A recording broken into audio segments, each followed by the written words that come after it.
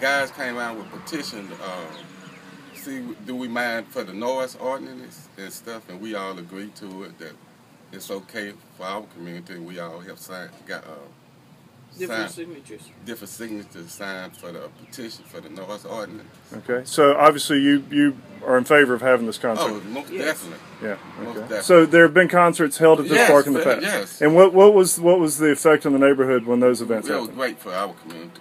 It was great. You get a kid something. Even they might don't get a chance to walk in the park, but at least they listen to the music out here. Something they very they couldn't probably afford, or, but they do listen to the music and enjoy it. Enjoy it. Okay. And there there were no problems No in terms problem, of people's no- behavior and that kind no, of thing. No, we we. I don't even think we had an incident. Okay. Now, do you think that anything about the nature of rap music or Little Boosie's music that would that would bring a different crowd or cause any trouble? No. The, the same crowd comes every weekend